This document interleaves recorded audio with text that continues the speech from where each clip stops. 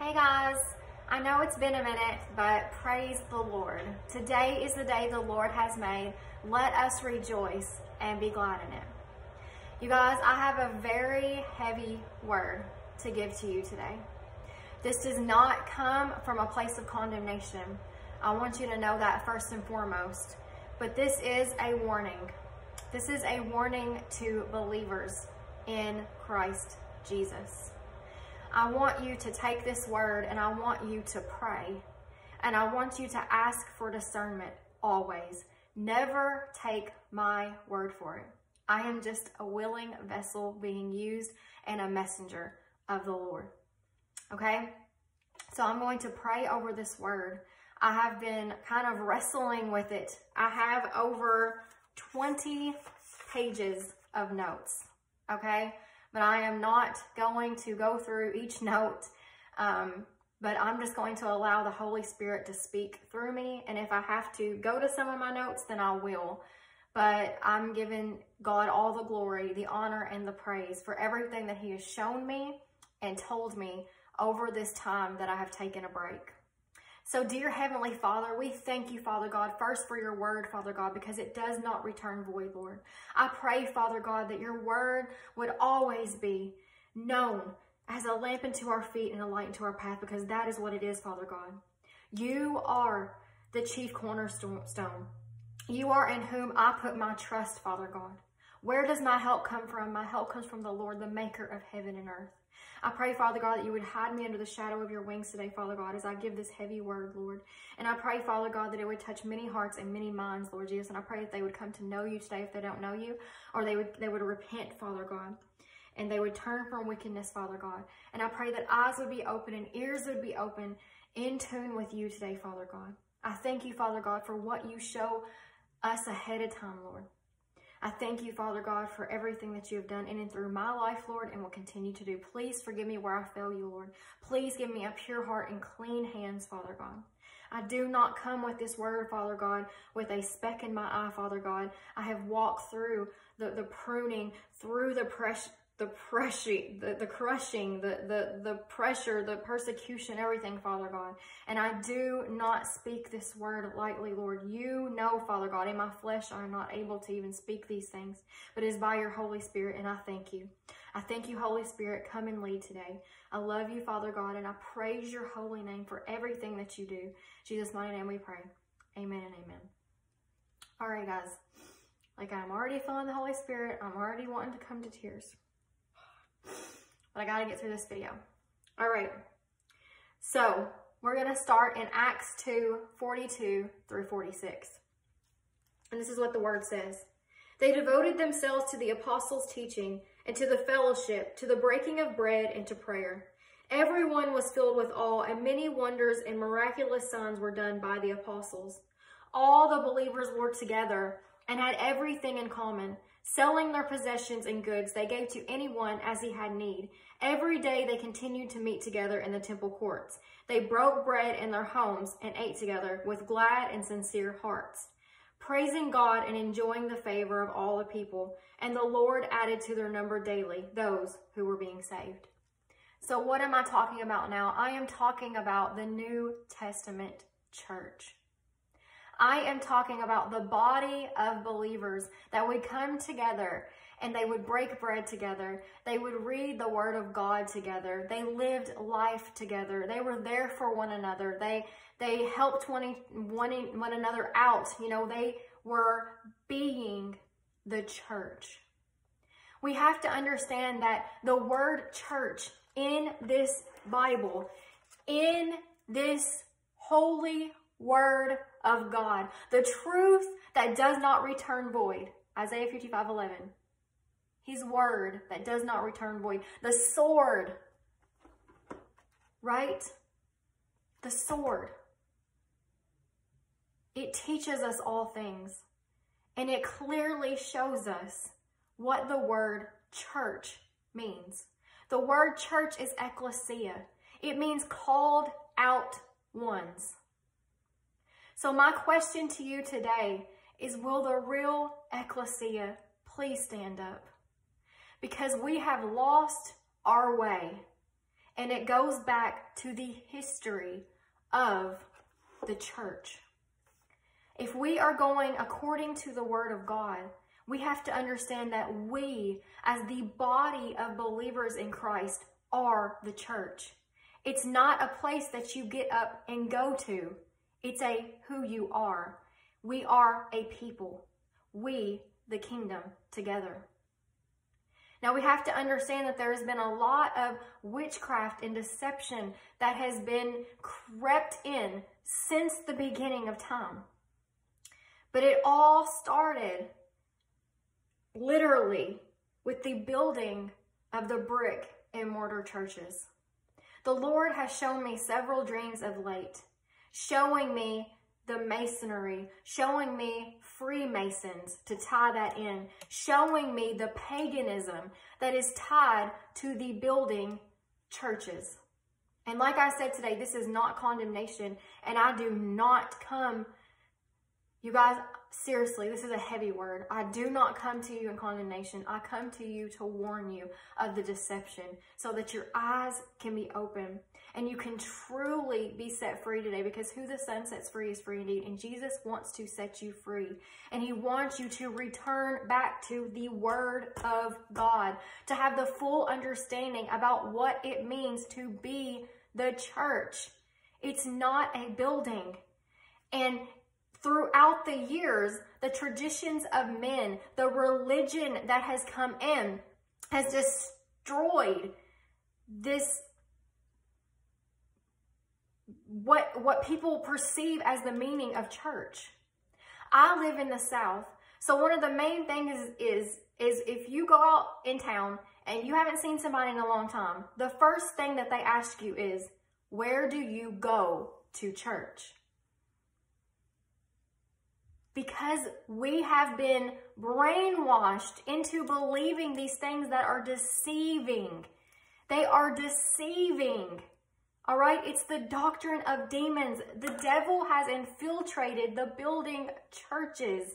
There is so much corruption. He has shown me the demons that are behind that, and we're going to get through that. And I've been sounding the alarm for years and years and years and years and years on this. But I'm here today to tell you that you have got to have your eyes open and your ears open to understand that that building is not the church.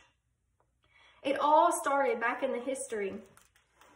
Did you know that the building of the churches go back to paganism and the building of the temples? based off the plan of the pagan Roman basilica or hall of justice. That is how the brick and mortar churches were designed. Then later designed a transept was added to form a wing aligned perpendicular to the nave to form the Latin cross or cruciform and auxiliary altars dedicated to the saints. Basilica means king. So Christian architects adapted the pagan plan, installing an altar near the large rounded recess where the king or judge sat. Constantine didn't destroy all temples, but many Christians came in and built churches inside of pagan temples. We have to understand that this building was created from paganism. That is a giant bomb that I am dropping today. This is the truth in love, you guys. In the beginning of the Bible, people met in homes. Acts 2, 46, 2 42 through 46, 5 and 42, Romans 16 and 5, 1 Corinthians 16 and 19. I want you guys to read those on your own. Jesus nor the apostles ever said anything about meeting in a building. Ever. Because Jesus came and he tore the veil.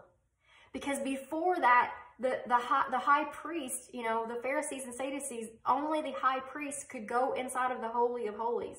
They had a rope tied to them. If they had any sin in them and they died, you know, they had to be drug out. But when Jesus died on that cross, he tore the veil. So then we don't have to go anywhere to receive him. It's a free gift of salvation through the work of the cross, through his sacrifice. We are called to repent of our sins, to turn from our wickedness, to look upon the Lord, to believe fully in him as the Lord of our life. He washes us clean. His blood that was shed on the cross washes us clean. We repent, we believe, and we live. We walk according to his word. Mark 1 and 15. You have to get this concept today that whatever goes on in that building is not the end.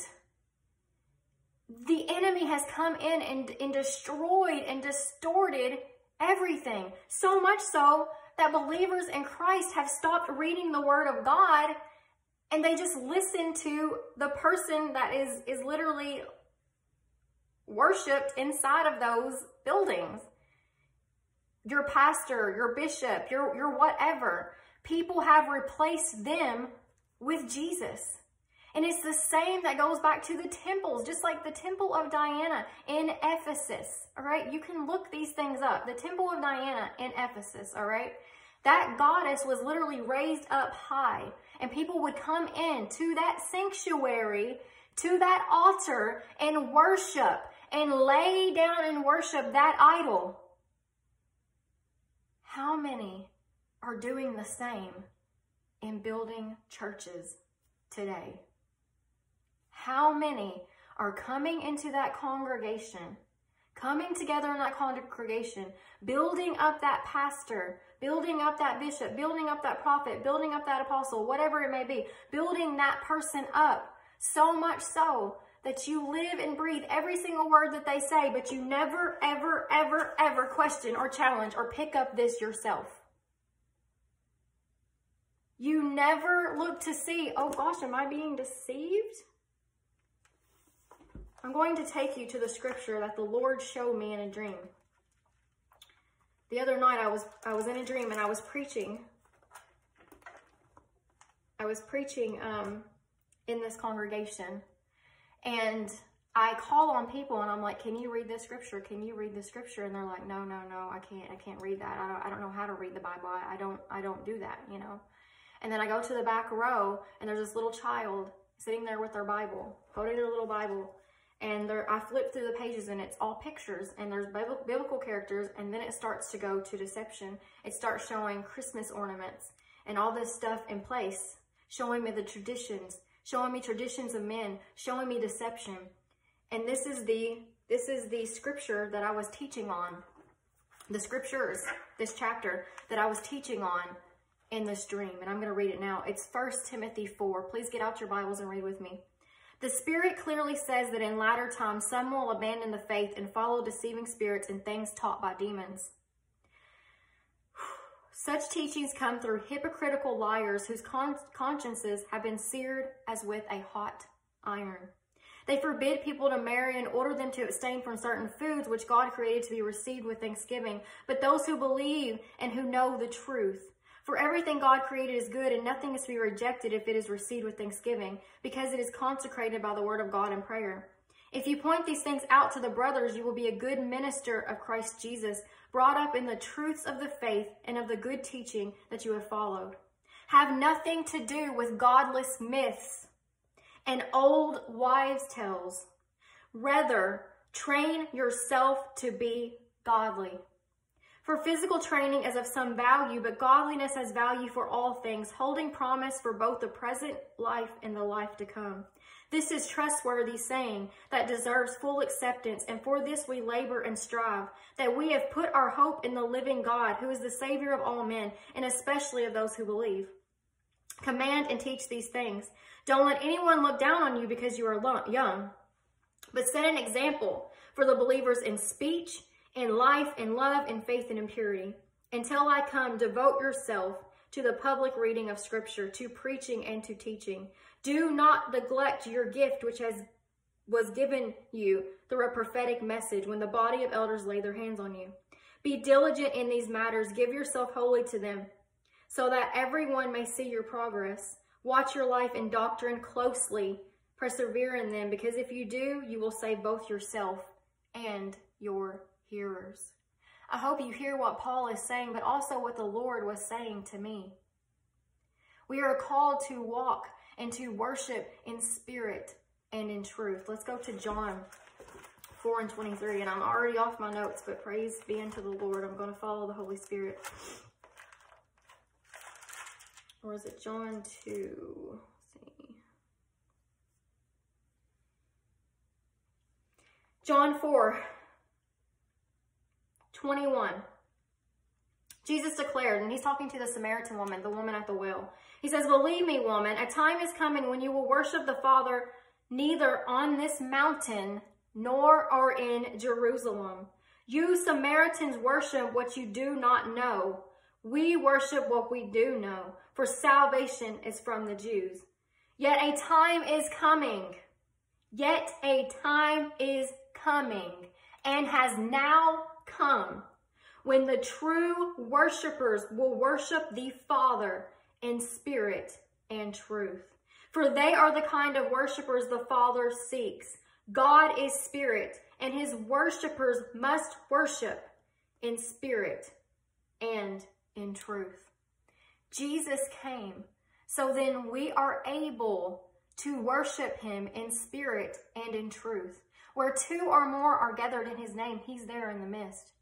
It may just be you and the Lord in the secret place for the longest time until he sends another believer beside you to congregate with you, to so you to share, you know, what the Lord has given you.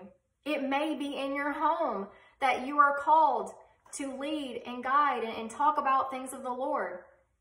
You're you're called to be used in your workplace or at school. Wherever you go, we are called to be prepared in season and out of season. And how beautiful are the feet of those that carry the gospel. We are called, you guys, we are called as the temple, as the ecclesia. You are the temple. You are the temple.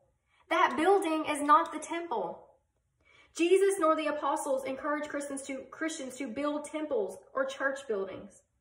When we build temples, we build idols. It's the same as the temple of Diana. I'm telling you straight from what the Lord has shown me. It is a gateway to idolatry. Because literally in that dream where I was preaching this to the congregation and they didn't want to read the Bible, they didn't understand the Bible, and the deception that was shown. And then off to the right, the Lord showed me the spirit of Jezebel and how that has crept in. And I've told you guys this a thousand times and I'm going to say it again.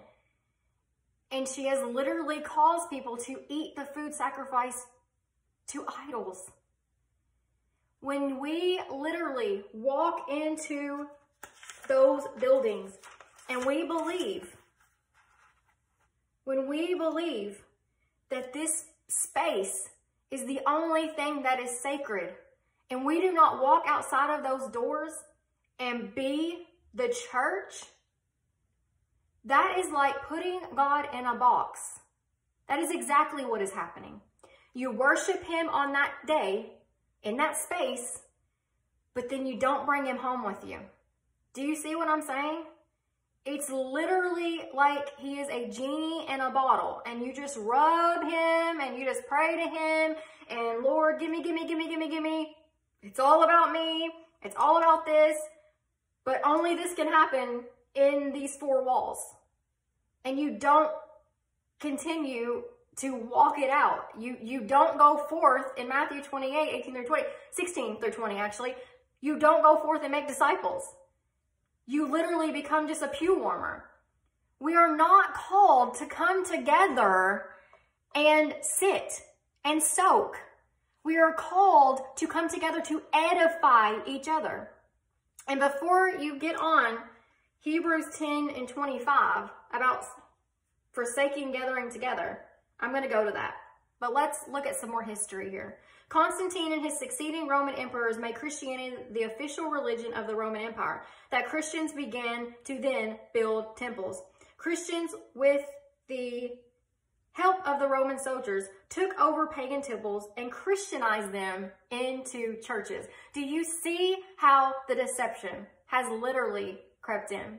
Not only that, most of the denominations that have been created, their leaders were Freemasons.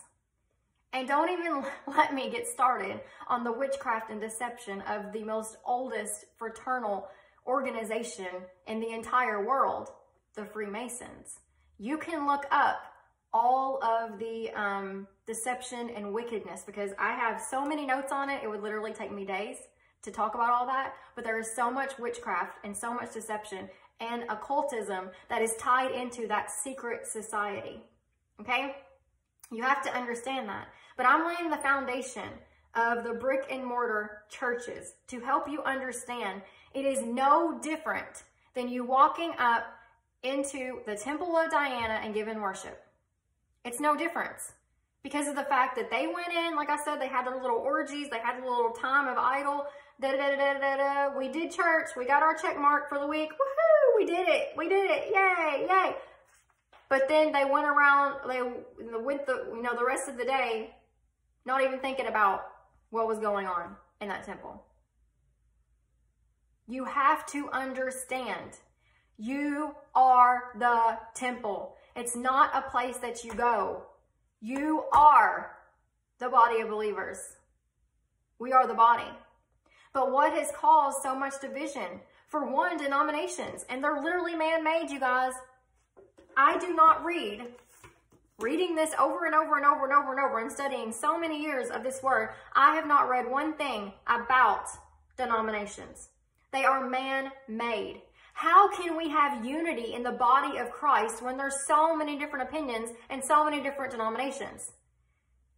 We are to follow the word of God, not denominations. Okay? Hope that you're getting that today. Then people began to think of a church building as a sacred space. This caused people the deception to focus more on what happens inside the building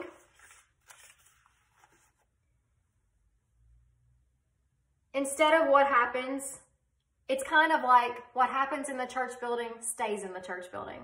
Have you ever heard that? What happens in Vegas stays in Vegas? It's kind of like that in the church world too. What happens in this church building stays here. And then the focus itself is not on the outside, what's going on, but what's on the inside, being the means and understanding of what church is. As the Bible clearly states, the ecclesia is the called out ones. It's not pew warmers. It's not for you to just come in, soak it up, listen. You know, what does James 1, 22 through 25 tell us? We can't just be hearers of the word, but doers of the word. We have to walk in obedience. So if you're just going to that building and you are not being the church on the outside, then you are in rebellion. You need to repent you are in rebellion because you're completely going against what the Lord says. You have to walk in obedience according to his name. You cannot just be a hearer of his word. You have to be a doer of his word. This has caused many to forget that God is omnipresent. He's everywhere at all times, and he has called everyone to the Great Commission. Matthew 28, 16 through 20. Let's go there very quickly. I hope that you are carrying on with me. Please hold on with me, please. Matthew 28, 16. Then the eleven disciples went to Galilee, to the mountain where Jesus had told them to go. When they saw him, they worshipped him, but some doubted. Then Jesus came to them and said, All authority in heaven and on earth has been given to me. Therefore, go and make disciples of all nations, baptizing them in the name of the Father, of the Son, and of the Holy Spirit and teaching them to obey everything I have commanded you. And surely I am with you always to the very end of the age. We are to walk as Jesus walked, as in First John. Mark tells us, you know, we are to go out and lay hands on the sick and they'll be healed. We are to cast out demons in the name of Jesus. Matthew 21 and 13 says,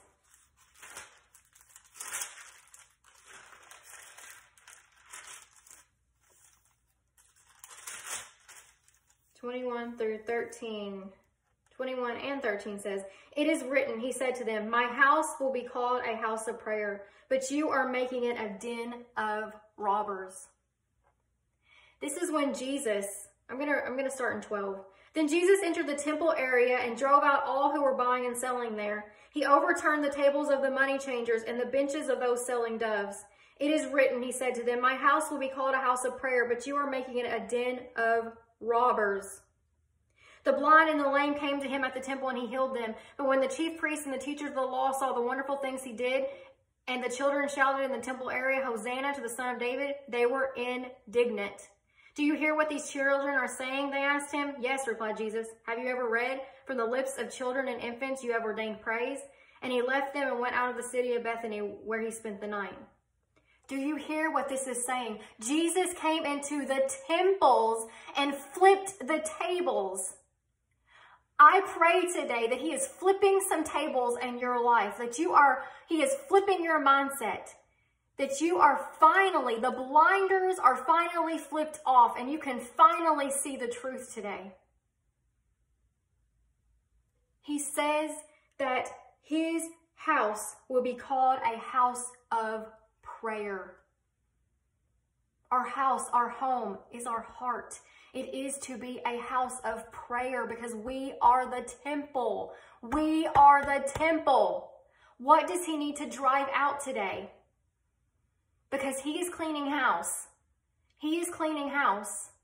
He is setting a warning today for you to understand that if you are walking into that brick and mortar house, house of the Lord, and you have made that a sacred space, and only the Lord can do things in there. And not only that, the leaders oftentimes control when the Holy Spirit can break out and when he can't. Can I get an amen? That is the truth. Because there's so much deception and so much witchcraft. The Lord has shown me a lot of demons that are behind this. One was the Jezebel. Next is the Antichrist spirit that's tied in with counterfeit, with counterfeit um, false signs and wonders. And it all stems from Leviathan. It all stems from pride the pride of money. All right, let's go to Matthew 6. A friend spoke this to me today and it went right with it. Let's go to 19. Do not store up for yourselves treasures on earth where moth and rust destroy and where thieves break in and steal. But store up for yourself treasures in heaven where moth and rust do not destroy and where thieves do not break in and steal. For where your treasure is, there your heart will also be. The eye is the lamp of the body. If your eyes are good, your whole body will be full of light. But if your eyes are bad, your whole body will be full of darkness. If then the light within you is darkness, how great is that darkness? No one can serve two masters. Either he will hate one or love the and love the other, or he will be devoted to the one and despise the other. You cannot serve both God and money. Do you hear me today? In these brick and mortar churches, one of the deceptions is money. They are ruled by power and money. It is a counterfeit. They have people so enslaved in that thought process of you got to pay that 10%. And if you don't pay that 10%, you're not going to be healed. You're not going to be set free. You're not going to be delivered, blah, blah, blah, blah, blah, blah. Do you know that Jesus came and abolished the law? Do you know that you are not bound by that 10% anymore? In the New Testament, it tells us that we are to be cheerful givers. We give out of our heart because Jesus gave it all for us. Why would we not want to give?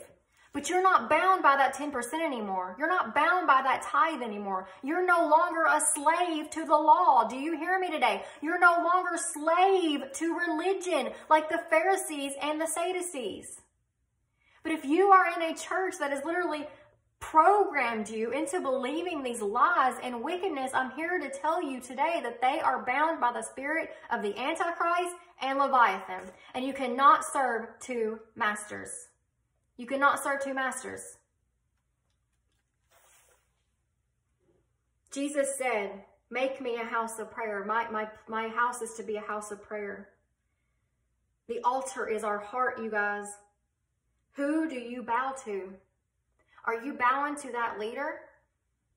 Are you so worried about not being in that building so much so that it's put, it's literally enslaved you? It's put a yoke on you because you're like, I've got to be in that building. I got to be in that building. If I'm not in that building, I'm forsaking the, the, the, the how, you know, I'm forsaking gathering together. Let's go to Hebrews 10 25.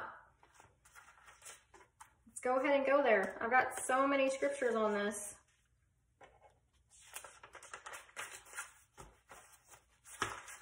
Hebrews 10 and 25.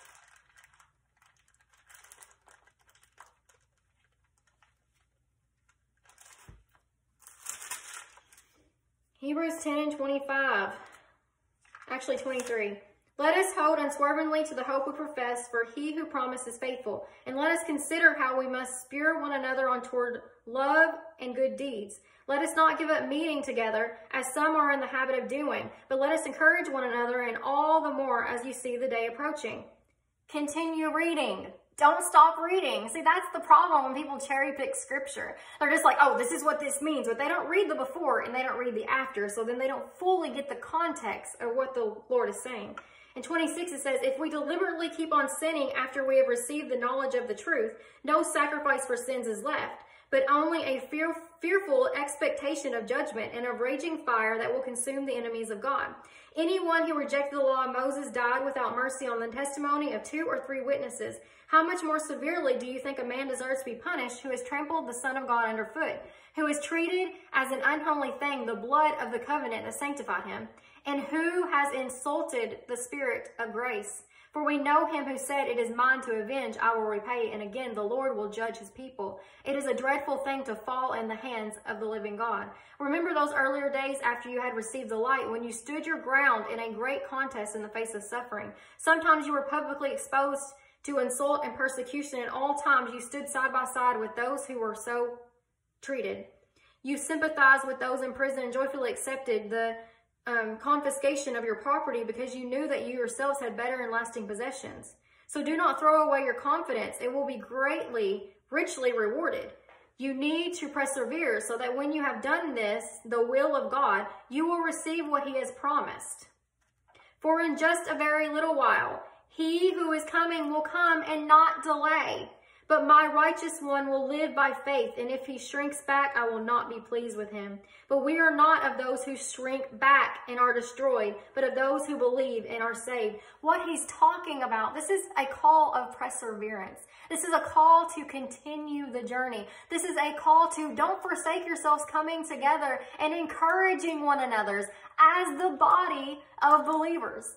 It's not saying that you got to go to that church and come together. It's saying come together with other believers. Come together and encourage one another. Build each other up. The body of Christ. Not just you and your little clique in, in, in your church. Because that is actually, cliques and factions are actually part of the sinful nature in Galatians 5, 16 through 25 that actually say that we'll not inherit the kingdom of God. So this is the deception, you guys. There's so much deception. Let's go to Hebrews 3 and 13. The devil, the father of all lies, John 8 and 22, has come in and deceived so many people.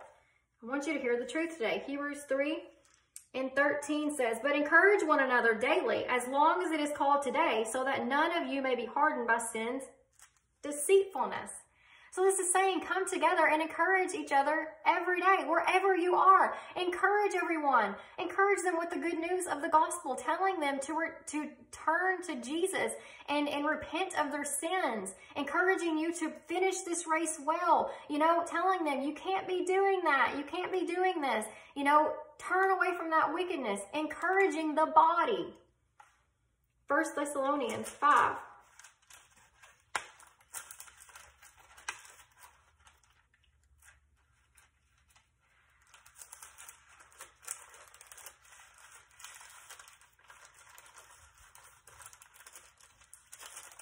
You know, when you literally start like turning pages and you're like, I know where that is in the Bible. And then your, your Bible just wants to like kind of go all together and then they stick together. All right, five and five and 11. 1 Thessalonians 5 and 11 says, Therefore, encourage one another and build each other up, just as in fact you are doing. That is what Hebrews 10 and 25 is talking about. Coming together as the body of Christ. So let's go to 1 Corinthians. i Got a lot of scripture here today, guys, but this is the stuff that the Lord has been showing me. This is where he has been leading me. And just for you to understand what it truly means to be the church. It's not running to that building. You are called to be the church. 1 Corinthians 12 and 27 says, Now you are the body of Christ, and each one of you is a part of it. And in the church, God has appointed first of all apostles, second prophets, third teachers, then workers of miracles, also those having gifts of healing, those able to help others, those with gifts of administration, and those speaking in different kinds of tongues. Are all apostles? Are all prophets? Are all teachers? Do all work miracles? Do all have gifts of healing? Do all speak in tongues? Do, do all interpret? But eagerly desire the greater gifts and no, I will show you the most excellent way. He is telling us in 1 Corinthians 12 and 12, starting, that there's one body, but it has many parts. He's talking about the body of believers. He's talking about the kingdom, being kingdom united together. That we all have different parts, we all have different callings, but when we come together in unity together, that's how the body is to function. But it's not talking about in your so-called area only. It's about the believers all over the world coming together. All right? It is about all of us in the body coming together and encouraging one another. It's not about this denominational law and this church, I, you know, what we believe is right and what you believe is not right. It's about the Bible, getting back to the basics and reading your word yourself. You cannot obey God if you do not read his word because you do not know him. You cannot know somebody that, that you haven't found anything about. How can you become in a relationship with somebody if you don't know nothing about them? How? You can't. So you cannot tell me that you have a true loving relationship with Jesus Christ if you do not read his word. If you do not meditate on it day and night and night and day and put it away in your heart. If this was taken away today, how much, how much would you know of the word? It's a scary thought. It's a dangerous place to be in. It's very dangerous. You've got to wake up today and start being the church and get out of the mindset of it's a place that you go. It's a people you are. Now you are Christ's body and individually members of it. 1 Corinthians 12, 12, just like I said, the body is a unit, though it is made up of many parts, and though all of its parts are many, they form one body. So it is with Christ. For we were all baptized by one Spirit into one body, whether Jews or Greeks, slave or free, and we were all given the one Spirit to drink. Now the body is not made up of one part, but of many. If the foot should say, because I'm not the hand, I don't belong to the body, I would not, for that reason, cease to be part of the body. And if the ear should say, because I am not an eye, I do not belong to the body, it would not, for that reason, cease to be part of the body. If the whole body were an eye, where would the sense of hearing be? If the whole body were an ear, where would the sense of smell be? But in fact, God has arranged the parts in the body, every one of them, just as he wanted them to be. If they were all one part, where would the body be? And it is, there are many parts, but one body. The body of believers. Let's go to Romans 12 and 5 now. And I will have all of these scriptures linked Romans 12 and 5. And it says, So in Christ, we who are many form one body, and each member belongs to all the others. Six, we have different gifts according to the grace given. If a man's gift is prophecy, let him use it to the proportion to his faith. If it is serving, let him serve. If it is teaching, let him teach. If it is encouraging, let him encourage. If it is con contributing to the needs of others, let him give generously. If it is leadership, let him govern diligently. If it is showing mercy, let him do it cheerfully. You guys, we have to get back to the word of God. This is one of the best scriptures ever right here. Romans 12, 1 and 2. Therefore, I, I urge you, brothers, in view of God's mercy, to offer your body as living sacrifices, holy and pleasing to God. This is your spiritual act of worship. This is the spiritual act of worship. This is the spiritual act of worship, of worshiping Jesus in spirit and in truth. We are to lay our lives down as living sacrifices to be used however the Lord sees fit for us to be used because he has a purpose and a plan for you, but you must seek him to find him when you seek him with your whole heart. Jeremiah 29, 11 through 13. Do not conform any longer to the pattern of this world, but be transformed by the renewing of your mind. Then you will be able to test and approve what God's will is, his good, pleasing, and perfect will. And that's what I want you to pray over yourself today. Pray, and I pray for you. Do not be conformed to the ways of this world any longer. The ways of this world are the tradition. The ways of the world are, are that, that those pagan underlays, those stones that were made for those brick and mortar churches. That's not the stones that Christ says that his church is built on. Matthew 16 and 18 says, Upon this rock I will build my church. He's talking to Peter. And he's talking about people. Why do you think Peter's name means rock? You know, when, when, when that storm came and, and Jesus called out to the disciples in that boat and Peter stands up and he comes and walks on the water. You know, Jesus was there with Peter. And when Peter had his eyes on Jesus, you know, we are to walk as Jesus walked, to, to look as Jesus looked because of the fact that we put on his righteousness, right? So when people see us, they're not to see us, they're to see Jesus in us because we are to be that light of the world, the city on the hill, right? We shine Jesus. It's not of us, it's of Jesus that's in us. So when Peter literally looked at Jesus, he wasn't even focused on walking on that water. He just walked on the water. But as soon as Peter looked to that world, I'm paraphrasing, of course. Look to the world, he started to sink. But guess who was there to pick him right back up? Do you understand why he said, Peter, rock? Peter, upon this rock, I will build my church.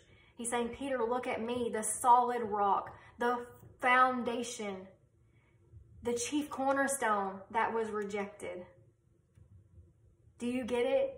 Jesus is the chief cornerstone but he is still being rejected and being replaced by these stones that people have built up, these walls that people have built up with the mindset. Their mindset has been transformed into conforming to the world's ways, to the traditions of men, and it all stemmed from paganism. Thank you, Jesus. We have to understand that we are the temple. We are carriers of God's glory. Romans 8 and 11, the same spirit that raised Christ from the dead lives in you and me.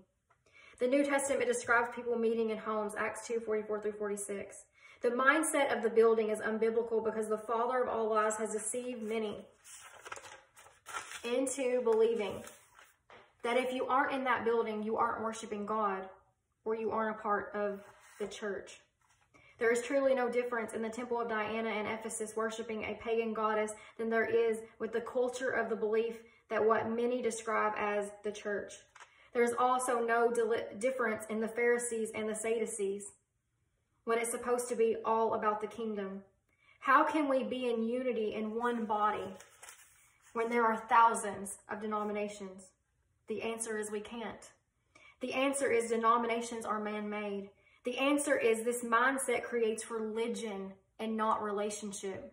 And a friend of mine also, you know, um, explained to me also in that, that it's not just about relationship with Jesus, but it makes distorted relationships with other believers because of the fact that if you believe something different than me, like the world tells us that we're enemies and we're not to be conjoined together, but we believe in the same Jesus. I tell people all the time, yeah, you may see things different than me, than me, but we believe in the same Jesus. We love the same Jesus. I love you. I love you just the same. If you agree with me or not, I still love you. Right? And I'm not here to argue anything, but I am here to hear to speak the truth in love and tell you what the word says. And also as a messenger of the Lord to relay his message with trembling. Like I said, this is not easy. This is not oh my goodness, like puff me up. Absolutely not. This is not easy to come on here and speak the word in truth, but I know who I am. I know who the Lord has made me to be. And I know what I'm called to do. And when he drops these bombs and he says, you better make a video now, you do it, right? You have to walk in obedience. And that's not to puff me up at all, you guys. It's not about me at all. It's not about me. It's about Jesus receiving the glory and eyes being open and ears being open. The belief, the beliefs that are attached to the building are unbiblical, and it's time to get back to the Word of God. Jesus came to abolish, and he did. He did away with the law. He destroyed the space between by tearing the veil. When he was crucified on that cross, offering a free gift of salvation to anyone who believes, repents, and lives. Like I already said, Mark 1 and 15. So how can we be united as the kingdom? Let's go to John 2 and 16. How can we be united when there's so much division?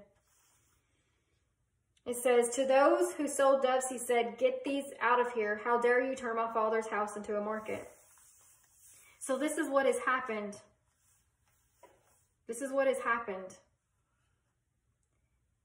Literally, the enemy has come in. He has sent in his demonic spirits. The doors have been opened to them. And it has destroyed what church means. It has destroyed many believers and their beliefs. It has destroyed many people's relationship with the Lord because of the fact of what has rose up so quickly. And that is temple worship. Like it, it, I don't know how else to explain it besides, you know, the, the witchcraft, the symbols, the rituals, the things that have, that have been brought in.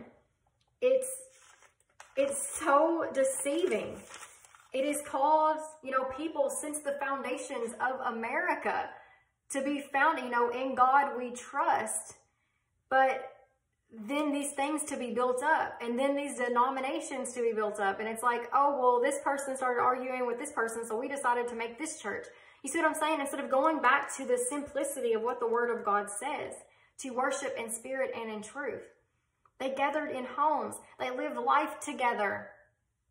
How many people can you truly say that you can look at right now that are in your building churches and you know for a fact that they are living life with you, that they are building a true relationship with you, that they are encouraging you, pushing you along the way, all of those type things.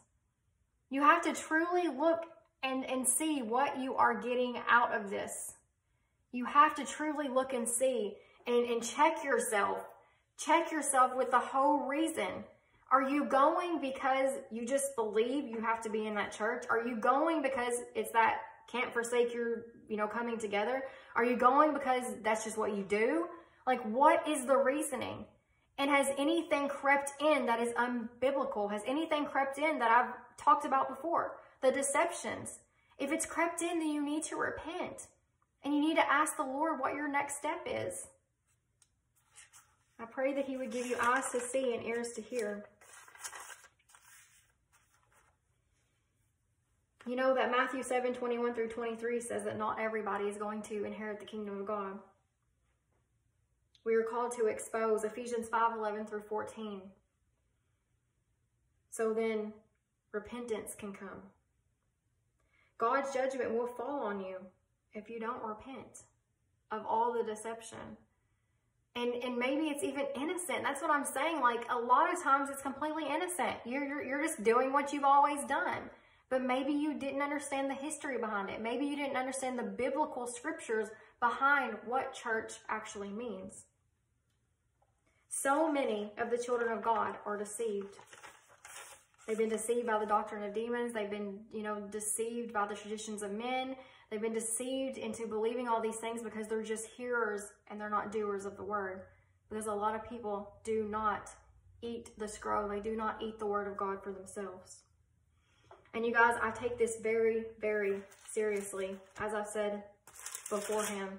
1 Corinthians 9 and 27. No, I beat my body and make it my slave, make it my slave, so that after I have preached to others, I myself will not be disqualified for the prize. I want you guys to understand, I take that very seriously. I take what Paul says there very seriously. The apostasy is happening now, you guys. How much more deceitful is it to believe that you can be a part of this antichrist agenda and be a church leader?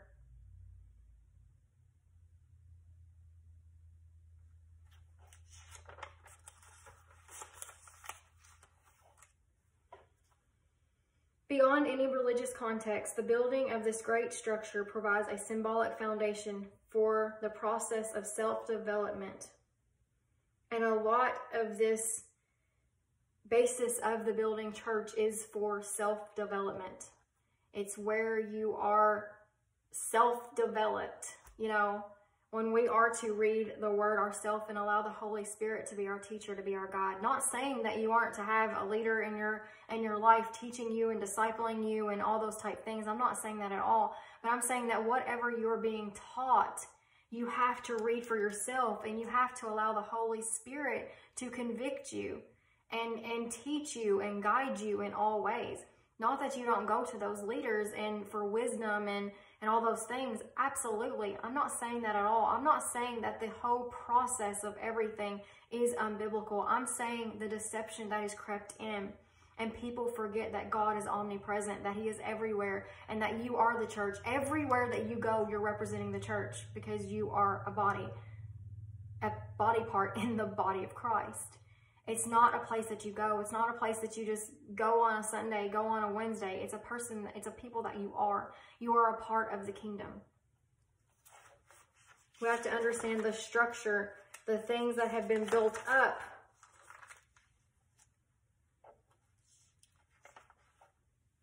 Has caused grave deception. How many people argue all the time over the interpretation of scripture, right? When, when the Lord shows you something, you are to pray over it. Pray over it. Test it. Test every spirit.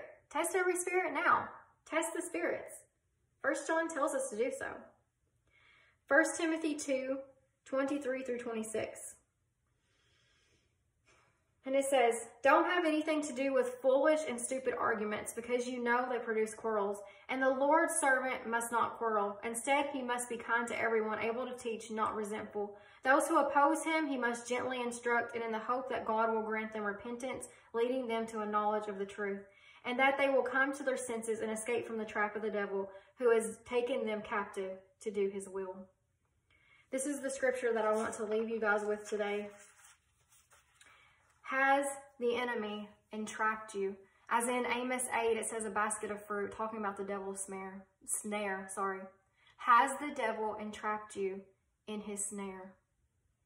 Has he entrapped you into believing the traditions of men, into believing that you're all good as long as you have that check mark, as long as you're in that building, as long as you are going and doing every single thing that, that somebody else tells you to do, but you're not reading the word yourself. You don't truly have a relationship with Jesus. It's just based off religion. It's just based off being in that building. It's just based off, oh, I went and did it. And then the whole rest of the week, you don't pick up your Bible. You have nothing to do with the Lord. You're not seeking him. You see what I'm saying? Like there's just so much deception. And I could go on and on and on about dreams that the Lord has given me, words that the Lord has given me. But we can no longer prostitute ourselves to these things because that's exactly what it's doing. It's creating idolatry. When you hold something at such a higher standard than Jesus, you are idolizing it. If you idolize that church, because like I said, so many people, they want to ask that question. Where do you go to church? Who is your pastor? When we are the church and Jesus is the head. I love you guys, and I hope that you have a blessed and wonderful day. And I hope and pray that this has encouraged you today. Like I said, no condemnation at all. This is a very heavy word, but I had to release it. I pray that you will read these scriptures. I'm going to put them in the description box, and I pray that you would pray for discernment. Have a blessed and wonderful day. Bye-bye.